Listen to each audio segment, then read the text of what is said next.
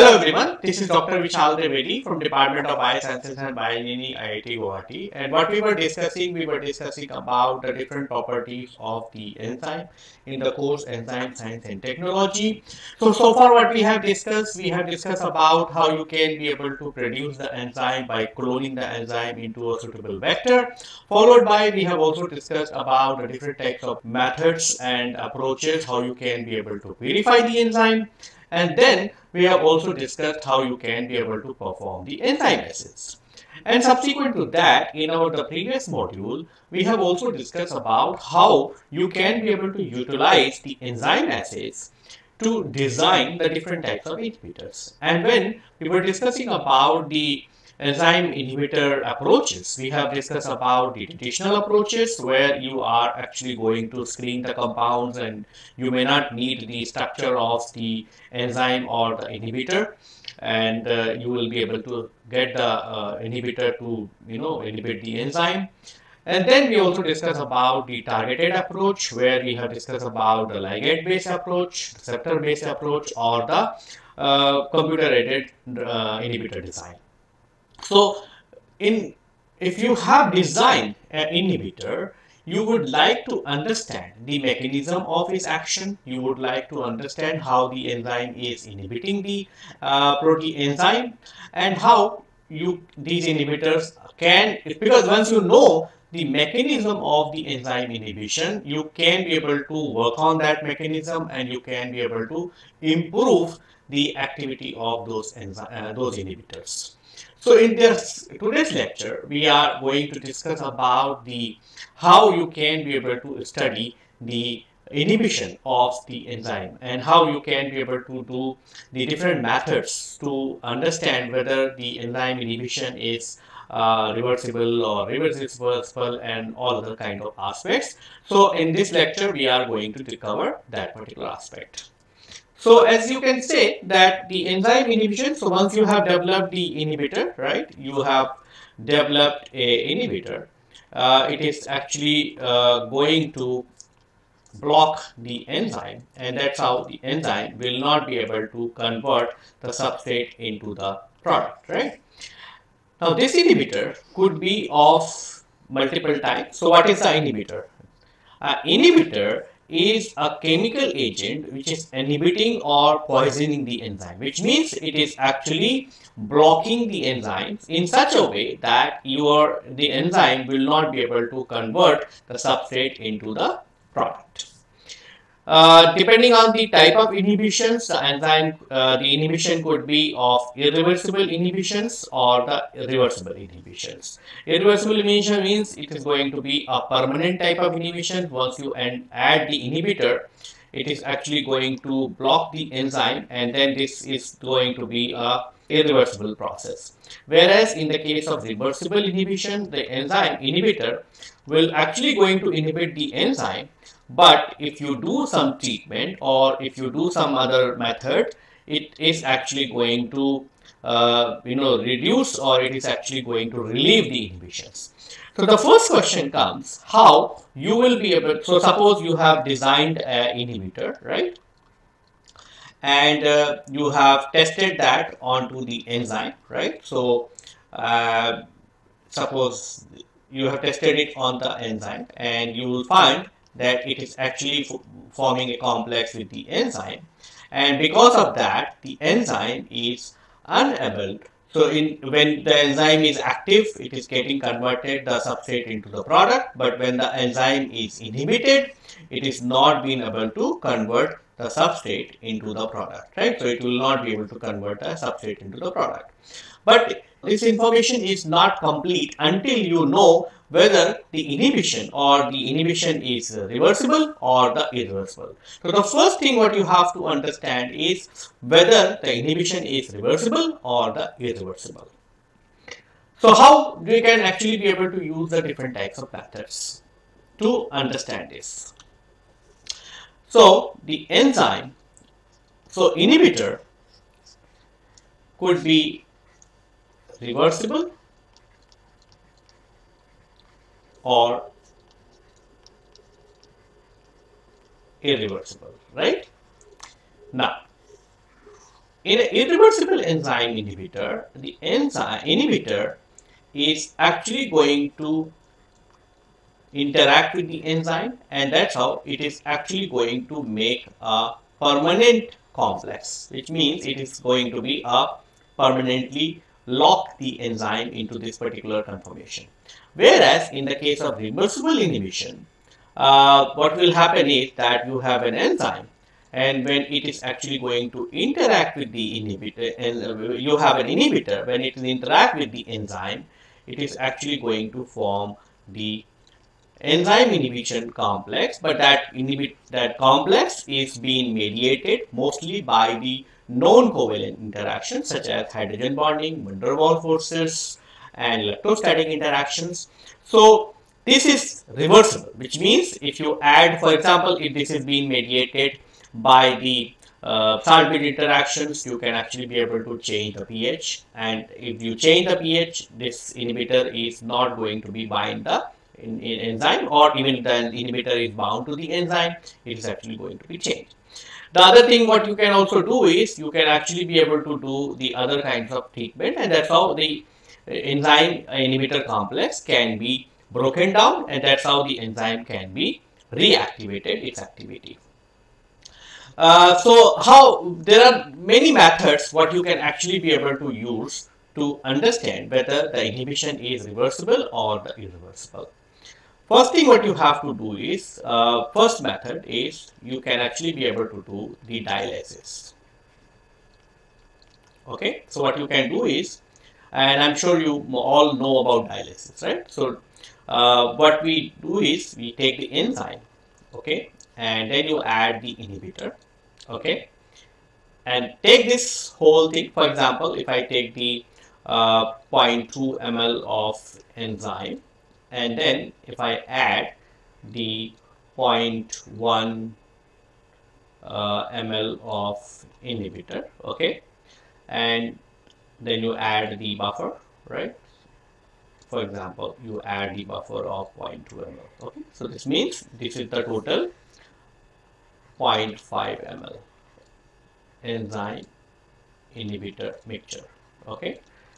Now what from this 0.5 ml what you can do is you can just take out the 50 microliter and you check whether the enzyme is active right that will confirm that the inhibitor is working and inhibitor has inhibited the enzyme so it's not active right so that's why the enzyme is not uh, active right so in active or inactive, right?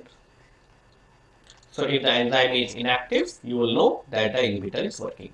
Now what you can do is just take this and put it into a dialysis bag, okay? So you put the dialysis clips and put it into a dialysis bag, okay? So you take this 0.5 ml, ml and put it into dialysis bag, right? And put it into a beaker, right? With a lot of buffer, right? So you can put like uh, for example 2 liter buffer. So what will happen is that when you put it into the 2 liter buffer, uh, the if it is a if it is a reversible inhibition, right? Because you have reduced, because you have increased the volume, the enzyme inhibitor complex is actually going to be get because you know that enzyme inhibition complex is having the equilibrium with enzyme and inhibitor, right?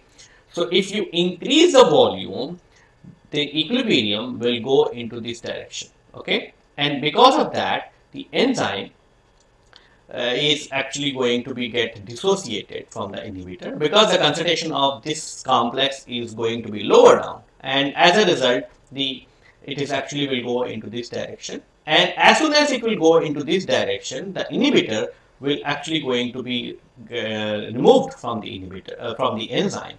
And when the inhibitor is going to be removed and inhibit since the inhibitor is of a small molecular weight mostly the inhibitors are in the range of uh, 500 dalton right? They will come out.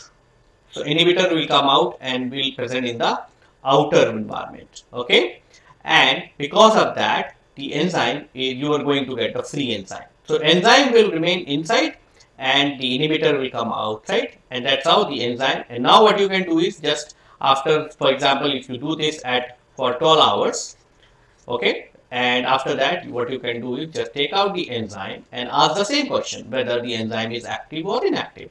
And if the enzyme is active okay then the the inhibition is reversible if the enzyme is still inactive okay if its enzyme is inactive then you will know that the inhibition is irreversible because the inhibitor enzyme complex is not being mediated by the reversible forces it is being mediated by the irreversible forces such as covalent bond and all those kind of things. So in that cases, the enzyme is not, inhibitor will not get going to be dissociated from the enzyme and that's how you can be able to know this.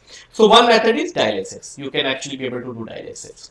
The second, which is still the same uh, similar method, but it is more refined. So what you can do is you can do the gel filtration.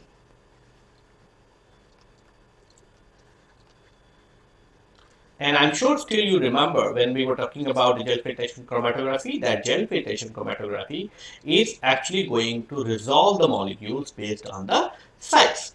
So what will happen is that you take the, you again make a mixture of 0.5 ml and then you load this mixture onto a gel filtration chromatography.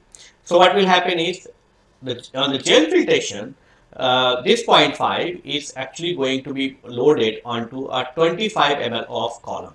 Okay, so because you have loaded into a 25 ml column, the complex is again going to be get diluted and as a result the enzyme inhibition complex is again going to be dissociated into the enzyme and inhibitor and as a result what will happen is that inhibitor is going to be separated from the enzyme. So what will happen is you will going to see the two peaks. You are going to see a peak which is for the enzyme and you will going to see another peak which is for the inhibitor. So this is for the peak for the inhibitor, this is the peak for the enzyme when you run it on the gel filtration chromatography. So now what you can do is just take this, this whole uh, peak, you can collect and you are going to get the enzyme and that you can actually again ask the same question whether the enzyme is active or whether it is inactive. If it is active, then the inhibition is reversible, right? Because you have removed the inhibitor and you can be able to remove the inhibitor. If it is inactive, then you can be able to say that the inhibition is irreversible because you still have the in, in, you you have collected the enzyme fraction but still the inhibitor is present because inhibitor is of a small molecular weight so it will be get separated from the enzyme so this is the two method what you can actually be able to use very nicely. The third method what you can do also is you can actually do the dilution method. So what the dilution method is? The dilution method will say, uh, I'll, I'll try here, okay. So dilution method. Now, what you can do is in the dilution method, uh, suppose an inhibitor is active at 1 micromolar concentration. Okay, so suppose the inhibitor is active at 1 micromolar, but it is not active. It is not active if you convert the enzyme, uh, if you change the concentration at 0.1 nanomolar. Okay, this means if you do a uh, dilutions, it will not going to be active. So at this time, it is active. The inhibitor is active, which means it is actually going to inhibit the enzyme. But this concentration, it is not active because it is very, very low, right? You will going to have. So what you can do is you can just make the reaction mixture, right? This reaction mixture, right? And you keep the inhibitor at 1 micromolar, okay? Now you take the aliquot of the enzyme and ask the question whether the enzyme is uh, active or inactive. So in this particular consultation, the enzyme is going to be active. Now what you can do is you just take 1 microliter of this, okay, and put it into 1 ml of buffer. This means you have actually done the 1000 percent dilution. Okay, so when you do the one per, one 1000 times dilution, what will happen is the inhibitor is 1 micromolar here.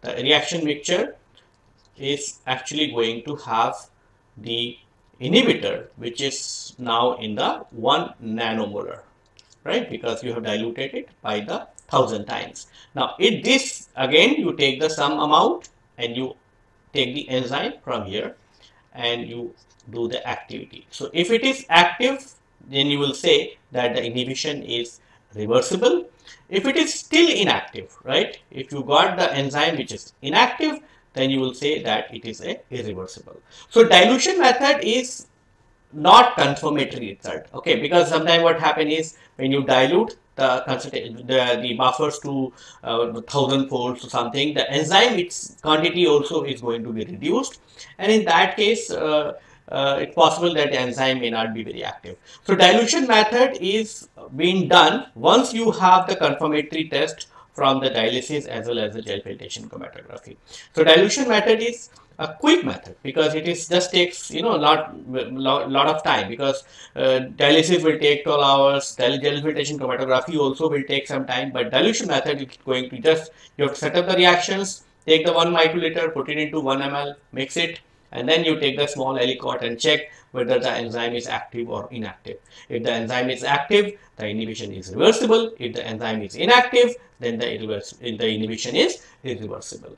So dilution method is a quick method, but it is having its own uh, drawback that sometime when you do a 1000 times dilution or 100 times dilution, the enzyme concentration also will be very low and in, at that particular concentration, the you may not get a very good readable count. So these are the um, some of the method, analytical method what you can actually be able to use to study whether the type of inhibitions. Once you know the type of inhibitions, the type of inhibition could be reversible or the irreversible. So we have the irreversible inhibitions where the enzyme is actually going to make a complex with inhibitor and this complex is the uh, going to be mediated by the irreversible uh, forces such as covalent bond and uh, other kinds of interactions. So this is not going to be get dissociated. Whereas in the case of reversible inhibitions, the enzyme uh, is going to interact with the inhibition and it is actually going to be reversible. So this inhibition, this enzyme inhibition complex is going to be mediated by the uh, reversible forces such as salt bridge interactions. It is going to be mediated by the electrostatic uh, interactions and uh, it is going to be mediated by the hydrogen bonding and so on. So because these interactions can be broken down the inhibition can inhibitor can actually get broken down and give you the free enzyme and inhibitor again so in the reversible uh, category, you have three different types of inhibitions. You can have the competitive inhibition, you can have non-competitive inhibition, and you can have the uncompetitive inhibition. So first we're going to discuss about the irreversible inhibitions and then we are going to discuss about the reversible inhibitions. So irreversible inhibitor or irreversible inhibition as the name suggests, it is actually going to be permanent and it is not going to be get affected whether you dilute the enzyme, whether you do gel filtration chromatography, whether you dialysis, some anything. Once you add the inhibitor, it is actually going to make a complex with the uh, enzyme and that's how it is actually going to destroy the activity. So irreversible inhibitor destroyed a functional group on the enzyme which is necessary for the catalytic activity. For example, diisopropyl fluorophosphate or DFP which inhibits acetylcholine esterase. Okay. The another example is iodoacetamide. Iodoacetamide inhibits the OH group of serine and SH group of cysteine and imidazole group of the imidazole group of the histidine. So they are mostly the irreversible inhibitor are actually going to go and bind or destroy the functional groups onto the uh, enzyme and that is going to be irreversible damage and uh, that's how the enzyme will not be able to recover its activity even if the inhibitor is uh, present or not present around. There are some examples of irreversible inhibition of the enzyme. For example, diisopropyl fluorophosphate DFP, which inhibits the acetylcholine esterase and serine proteases such as trypsin, chymotrypsin, and elastase. Then we have the British anti-Lewisite, which is a antidote for the heavy metal toxicity. Then we have cyanide, right? You remember that the classical case of cyanide, that cyanide, nobody know the taste of cyanide because cyanide is very very toxic poison right? And why it is poison? Because it is actually having a irreversible inhibition of cytochrome oxidases. And cytochrome oxidase is a very important component of electron transport chain. So if the electron transport chain is going to be blocked by a molecule it will actually stop the production of the ATP. So there will be a no production of ATP and as soon as that there will be a no production of ATP, it is actually going to stop the physiological processes, right? And that's why the cyanide is going to be very, very, very potent, right? Uh, inhibitor, right? Because it's going to be irreversible and this because it cannot be uh, you know, uh, allow the enzyme to be reactivated or something. That's why uh, any kind of poisoning or uh, toxicity by the cyanide cannot be reversed. Uh, then we have the fluoride. So fluoride actually inhibits the enolase and it removes the magnesium and manganese from the active site of the enzyme and that's how it is actually going to deprive the enzyme from the crucial uh, cofactors and because of that it is the enzyme will not be able to active. So in a in a typical uh, reaction, what will happen is that this is a reaction where where I, we are actually discussing about how the enzyme is actually uh, how the uh, this DFP is actually um, inhibiting, right? So uh, this is actually a diisopropyl fluorophosphate. This is difluorophosphate, and what you see here is this is the fluorine what is present onto this phosphate, right? And this is the DFP, right? And this is the enzyme, enzyme which actually contains the active site uh, serine, okay? And it has a serine OH, right? So you see the, the lone pair of electron here, which is present onto the oxygen of the serine. So what happens is that when it interacts, the fluorine is actually going to be removed, right? and uh, this fluorine is going to be removed because its fluorine is going to be attack onto the lone pair of the oxygen. And as a result the it is OH uh, O is actually going to make a complex with phosphate. And now what you see here is that that lone pair is also gone and does not have the functionally active OH group right? And this functionally active OH group is very important because once the OH is present, it actually can take up the electrons from the substrate it actually can give the electrons to the substrate and that's how the functionality of the enzyme is solely being depend on to this particular functional group. So when you added the DFP what DFP will do is this fluorine is actually going to attack onto this particular oxygen and as a result it is actually going to make a permanent complex. See this is a covalent bond right? So if it is making a covalent bond whether you you dilute this enzyme, whether you dialyze this enzyme or whether you run it as a gel filtration, this bond is not going to be broken down and that's why this enzyme will no longer be functional. So this is actually going to be a non-functional enzyme because the inhibitor has blocked one of the uh, crucial amino acid and this crucial amino acid could be present in the active site and that's how it is participating into the reaction. So this enzyme is functional enzyme, this function enzyme is a non-functional enzyme. So this is the more or less the classical activity or classical way in which the uh, irreversible inhibitors are actually inhibiting the enzyme. Now, uh, irreversible inhibition of the acetylcholine esterase uh, by DFP, right? So DFP is a very potent inhibitor. So what uh, what will happen is that when it is actually going to you know inhibit the acetylcholine esterase, it is actually going to interfere into the uh, neural transport, and because of that, it is actually going to stop the communication between the muscle cell and as well as the neurons okay and as a result it is actually going to stop the activity of the muscle cell because you know that the muscle cells require the neural signal for the uh, it's their actions, right? Uh, if you want to know more about the muscle action, what you can do is you can actually be able to go through with some of my course of which is called as the basics of biology, where I have discussed about the muscular system and uh, we have I have also discussed about the nervous system. Okay, so how the acetylcholinesterase and the neural transmission works, you can actually be able to go through with these lectures, and they will actually going to give you the full idea. And once this is actually going to be blocked, the muscles will not actually going to be contract or relax and all those things, and that's how the person is no longer be able to move its uh, you know body. Okay. Uh, so this is what exactly going to happen. So acetylcholinesterase will have the functional A active uh, serine hydrox uh, serine and when DFP is going to be added, it is actually going to make a complex and that's how it is actually going to produce the inactive enzyme. And this inactive enzyme is actually going to block the uh, you know the transmission of the signal from the nerve cells to the muscle cell and that's how it is actually going to stop the muscle contractions and as well as and so the person is going to be get paralyzed.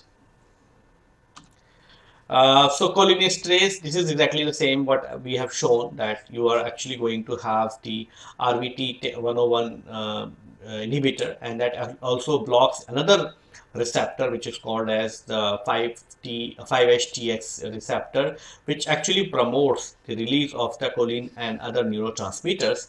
And once you are actually going to block this particular receptor it is actually going to stop the uh, you know secretion of the uh, neurotransmitters such as glutamate, acetylcholine and all that. And because of that it is actually going to stop the neural transmission between the two particular neurons. And uh,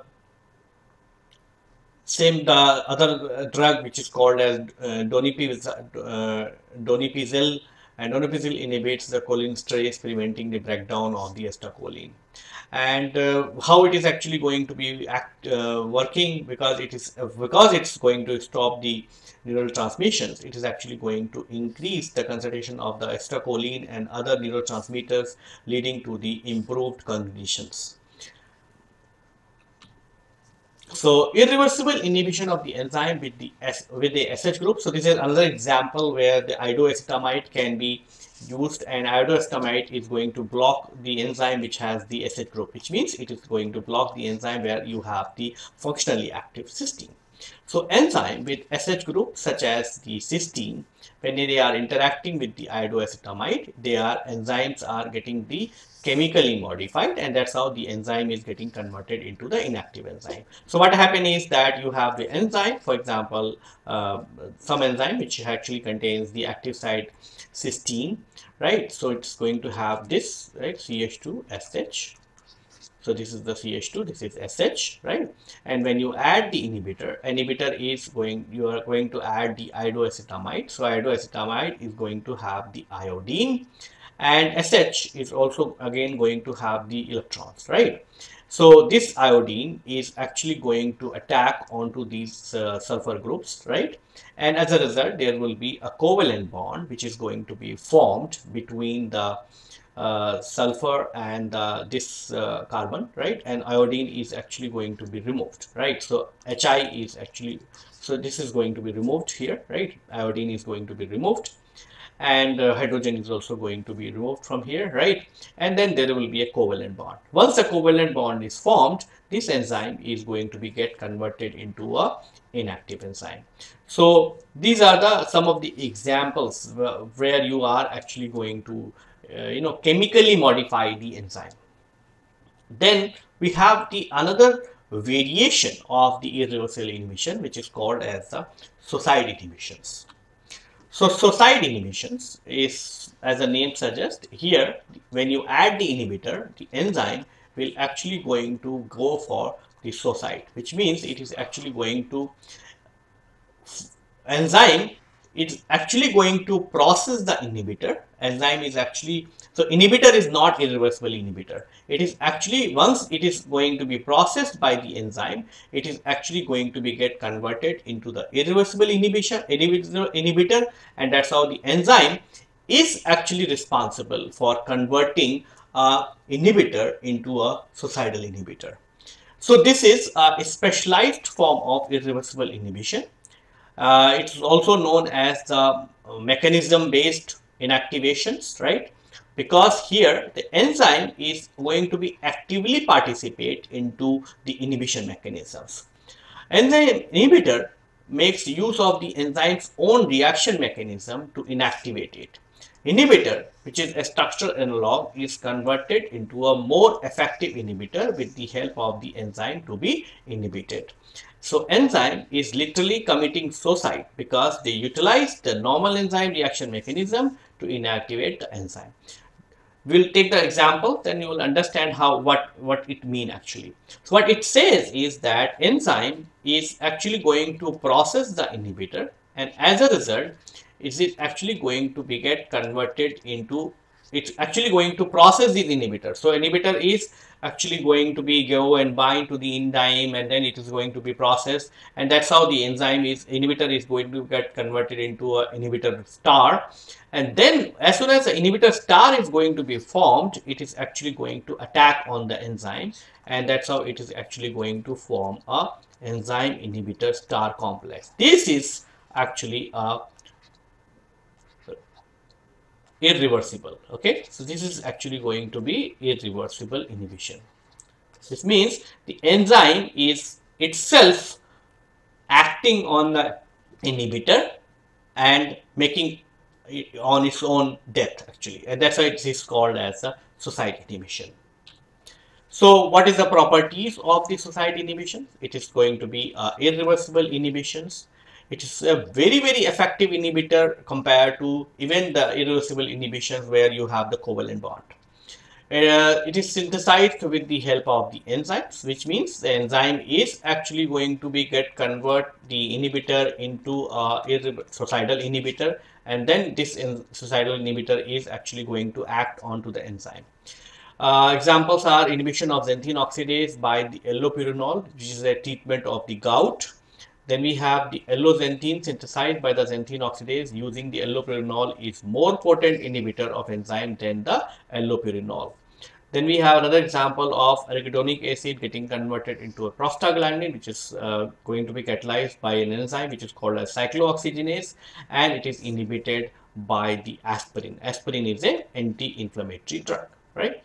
And then we also have an example of 5-fluorouracil. So 5-fluorouracil is getting converted into 5-fluorodeoxyuridine and this 5-fluorodeoxyuridine is a more potent suicidal inhibitor because it is going to inhibit the thymidylate synthase and it's going to inhibit the nucleotide synthesis and it is being used in the cancer treatment. So 5-fluorouracil is a anti-cancer drug.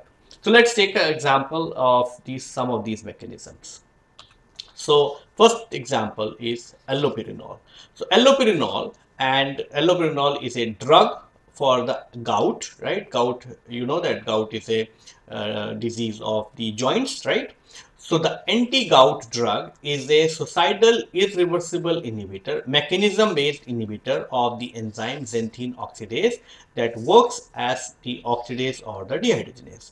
The enzyme commits suicide by initiating activating allopurinol into a transition state analog, oxypurinol, that binds very tightly to the molybdenum sulfide complex at the active site.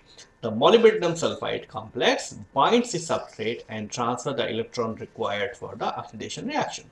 So what happens is that in a normal reactions, what is the xanthine oxidase is doing is it is processing the hypoxanthine to xanthine and then from xanthine xanthine oxidase is getting converted into the uric acid. And this uric acid is uh, actually a problem because uric acid is a metabolic byproduct. Remember that when we were talking about the amino acid metabolism we'll say that there are so many uh, you know nitrogen derivatives and other things are going to be produced. So you are going to produce uric acid urea and all other kinds of derivatives. So uric acid is actually going to be get deposited uh, into uh, into the joints, right?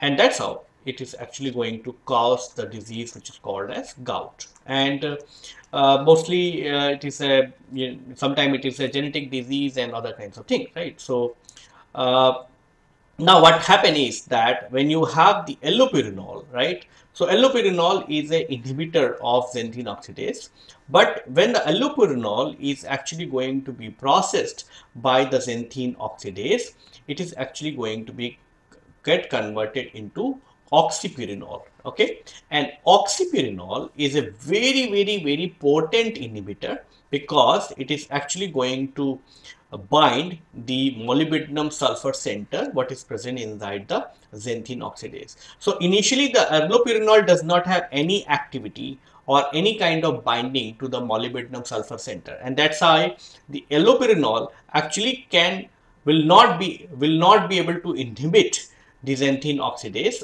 if the xanthine oxidase will not process the allopurinol to a oxypurinol. So allopurinol is getting converted into oxypurinol and oxypurinol is actually uh, you know uh, attacking onto this molybdenum sulfur center and making a complex and once it's making a complex the molybdenum sulfur center is actually the active center which is involved into the electron transport or electron movement between from the enzyme to the substrate. And because of that it will actually going to stop this in the this particular all these reactions which means it is actually going to stop the synthesis of the uric acid. And as a, as a result it is actually going to give you the treatment for the gout.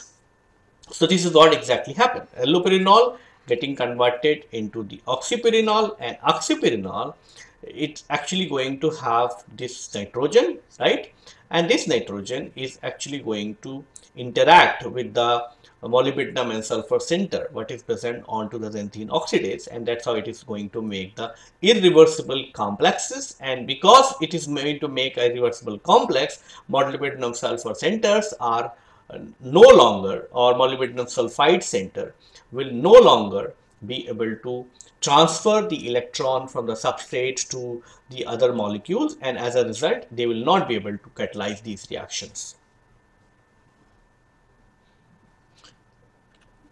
Then we have the mechanism of action of the 5-fluorouracils. So 5-fluorouracil, so 5-fluorouracil is getting converted into a fluorodeoxyuridine and that is actually a suicide inhibitor. So this is a carbon cycle. This is the carbon uh, one carbon cycle, right? Uh, through which the nucleotide and as well as the amino acid uh, components are actually exchanging the carbon pool between the so you'll see that these are the uh, amino uh, protein carbon pool and this is the amino uh, the nucleotide carbon pool so when there is a shortage of carbon into the protein pool the protein can actually take the carbon from the nucleotides. When there will be a shortage of carbon in, in the nucleotide pool, then they, they will actually do the reverse. And these are the some of the enzyme what actually going to function. So you have the dihydrofolate reductase, you have the thymidylate synthase and all other kinds of things, right? And at this place, you also have another enzyme which is called as the SHMT, right? So which actually going to convert the serine to glycine and that's how the uh, the carbon, the CH3 is actually going to be transferred onto the tetrahydrofolate and form the N5N10 methylene tetrahydrofolate. And then N5N10 methylene tetrahydrofolate, which actually carries the carbon from the uh, serine is actually going to be taken up by the this uh, system and that's how it's actually going to form the dihydrofolate and then dihydrofolate is actually going to be converted into tetrahydrofolate and so on. So thymidylate synthase is a very very active enzyme and it is responsible for the nucleic acid synthesis right because it is actually going to be involved into the synthesis of nucleotides and that's how it's actually going to be. So if you thymidylate synthase, when it processes the 5-fluorouracil, it gets converted into fluorodeoxyuridine. And fluorodeoxyuridine is a suicidal inhibitor for the thymidylate synthase. And that's how it is actually going to block the thymidylate synthase and that's how it is actually going to stop the reaction here. This means there will be no exchange of carbon pool between the protein chain and as well as the nucleotide. And as a result, the nucleotide is synthesis is going to be stopped and that's how it is actually going to be uh, blocked The other enzyme, which is dihydrofolate, is actually going to be inhibited by the aminopterin and the methotrexate. These are the two other inhibitors, but these are not irreversible inhibitor. These are the drugs, right? Uh, 5-fluorouracil, what people take for the cancer, right? So this is a cancer drug. So apart from the cancer, we have another example, the therapeutic usage of the enzyme inhibitors. You can have the uh, you know the clinical use for the epilepsy so where you are actually inhibiting the enzyme which is called as gamma trips, uh, and the inhibitor is called as gamma vinyl GABA right then we have uh, the uh, drugs for the antidepressants which is called as MAO and the uh, the inhibitor is the triclopyr uh, these are the two different types of inhibitors. And then we have the anti-hypersensitive drugs which is acetylcholinesterase uh, the drug's name is uh, and the enalaprilat then we have the cardiac disorders. So there are so many ATPases and then you also have the cardiac glycosidase uh, then we have a gout. So gout you enzyme is xanthine oxidase. The drug is allopurinol and then we have ulcers right? So you can have many types of ATPases because these ATPases are involved in the uh, you know the proton uh, transport and all that. So you can actually be able to use the omeprazole right? And this is very popular right? Omeprazole pantoprazole and all the kinds of uh, azole derivatives which you can use. And these are the all are irreversible inhibitors for the these uh, in, uh, this class of enzymes. Now uh, let's see a, you know the case study where we are actually going to study how you can be able to study suicidal uh, inhibition kinetics and how you can be able to understand the different types of uh, you know the parameters and all that. So the case study is very simple right? Where we are actually going to study about how you can be able to suicide inhibitor right this is a suicidal inhibitor where we are actually trying to inhibit uh, where we are trying to study uh, inhibitor which is called as NAC okay? So NAC's full form is N-acetylcysteine okay? And uh, it is actually being very extensively being used as a adjuvant uh, into the relieving the some of the uh, you know the damages during the malaria or it is also being used in the drug uh, in a, another disease which is called as the COPD okay so con uh, congenitive pulmonary disease uh, so N-acetylcysteine is, is, is, is being used in adjuvant therapy. It is a byproduct of glutathione. It is a strong antioxidant. It protects the cells from the oxidative stress. It reduces the inflammation through the reduced secretion of the cytokine which is called TNF alpha and NAC thought to be protect the cell by increasing the GSH level inside the cell. So what happened is that during the malaria you always have the RBC uh, rupture right and when there is a RBC rupture the RBC is actually going to be released the hemoglobin and that hemoglobin is getting converted into methemoglobin. So hemoglobin, you know that hemoglobin is the oxygen carrier, right? And once the hemoglobin is getting present into the uh, oxygen environment, it get oxidized. So hemoglobin is actually containing the iron as iron 2 plus, right? Whereas when the iron is present as iron 3 plus, it is called as methemoglobin. And because of this conversion, the methemoglobin is very toxic, right? So it actually can cause lot of toxicity issues, right? And that's what that happens during the malaria. So methemoglobin actually can cause the oxidative stress into the cell and that's how it is actually going to be kill the cells, right? So since the NAC was uh, antioxidant molecule, we thought that it may be blocking the methemoglobin molecule and that's how it may be reducing the oxidative stress and that's how it probably will be promoting the cell survival. So uh, exploring this particular hypothesis, we discovered that the NAC is a suicidal inhibitor uh, for methemoglobin. Now, when we want to do this kind of study we have to actually take a lot of control experiments okay so for example we have taken the we have studied how the because you know methemoglobin is actually going to cause the RBC lysis okay? Which means it is actually going to so we first thing what we have measured is we have measured whether the RBC lysis is getting blocked or not. So we did the NAC, GSH, methionine and NAM right? NAM and NAC is having only one difference that instead of cysteine you have the methionine. And you will see that when I remove the cysteine right it is actually not uh, protecting the cell from the hemolysis right? So there is a hemolysis even methionine is also not been able to block but GSH is been able to block because GSH is doing the same function as the NAC right? And then the same thing we have done also that we we have found that the because the methemoglobin has the peroxidase activity so it was actually blocking the peroxidase activity also the same way.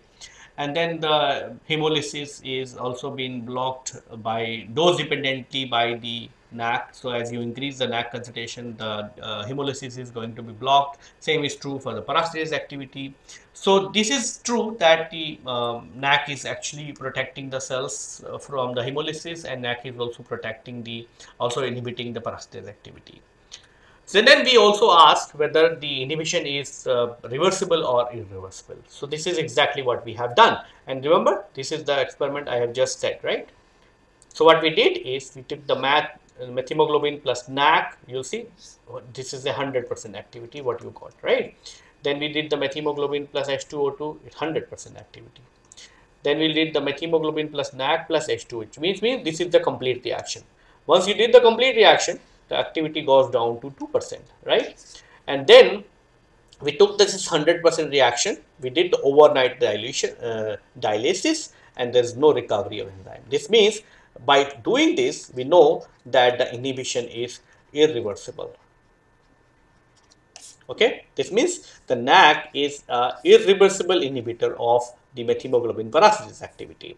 And then we tried uh, the other methods, right? So we tried like uh, protecting it by the substrates and other kinds of things to understand whether the substrate is actually going to protect. So it's clear that if you don't allow the methemoglobin to process the NAC, it is actually going to be get um, blocked, right? This means uh, it is actually going to be a suicidal inhibitor. So if it is a suicidal inhibitor, we also did the suicidal kinetics. So this is the suicidal kinetics. So NAC follows the mechanism based inactivation of methemoglobin. So what you do is in the suicidal kinetics, what you do is you take a reaction mixture and then you are actually going to take out the enzyme at different time intervals, right? like for example 0.04, 0.08, 0.12 and all that, you allow the inhibitor to react for these many time points and you will see that the enzyme is fully active, so 100% active, then it is actually going to show you a reduction in change. Okay, so these are the number of times, minutes, what you have actually kept.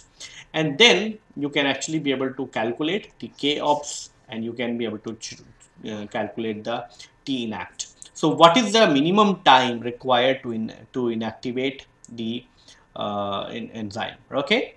And from this you will know that the Ki for this is uh, 0.76 and uh, the affinity of NAC for the uh, the enzyme is 8.5 micromolar and T half inact which means only 0.9 minute is required for inhibiting the 50% of the enzyme. Then we also did the um, you know UV visible spectroscopy to know whether the NAC is being processed by the enzyme. So it's actually being processed by the enzyme, and that's how the NAC is going to be modified by the enzyme. And that's how this in modified NAC is actually going to be the culprit for responsible for the blockage. And that's why this was not happening when we were adding the substrate because if you add the substrate, then enzyme will process the substrate rather than inhibitor. So we identified what kind of modification, right? So what we did is we did an EPR experiment or electron paramagnetic resonance spectroscopy and what you found is that there is a sulfur centered uh, free radical what is going to be produced when you are treating the NAC plus methemoglobin plus H2O2 Okay, that is not present when you are removing the hydrogen peroxide. That is not present when you are removing NAC or when you are adding uh, inactivated methemoglobin or when you are adding the meth buffer alone. So this was shown that this complete reaction is producing a uh, free, you know, producing the EPR signal and that EPR signal is, uh, sorry, uh, is actually saying that NAC is getting modified and this modi what is the modification? Modification is that it is actually forming the sulfur centered uh, radical, okay, which means some of the cysteine molecules probably have the sulfur where the you have the single electrons. So once you have the single electron, it is actually going to go and attack onto the uh, protein's uh, residues and that's how it is actually going to block some of the crucial residues. Uh, so NAC oxidation product is actually interacting with the sub enzyme. So if you add the H2O2, you are actually going to produce the NAC, uh, uh, you know, oxidation product, and that's how it is actually going to go and bind. Whereas in you don't have the hydrogen peroxide, it is actually not going to bind. Then what we did is we also identified the what kind of modification. So we found found is that the uh, cysteine is getting modified and this modified product is binding onto the protein and it is actually blocking the hemin. So methemoglobin has the hemin and it is actually blocking the hemin part. So hemin is, uh, NAC is forming an adduct with the enzyme bound hemin to inhibit the peroxidase activity.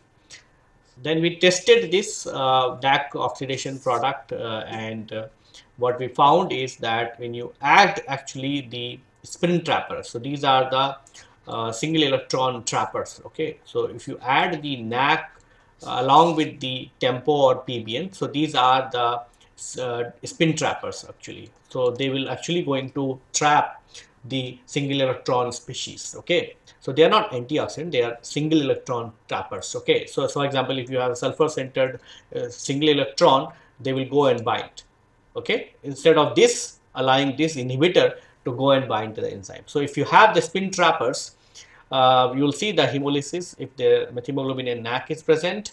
But if the methemoglobin is NAC is present you will see that if you add the these two uh, there will be a inhibit so if you have the methemoglobin you are going to see a hundred percent hemolysis. When you have the NAC you are not going to see the hemolysis but when you have the activity in the presence of tempo or the PBN you will going to see that the effect of NAC is actually getting reversed. So that actually proves that there is a NAC oxidation product which is responsible for the hemolysis.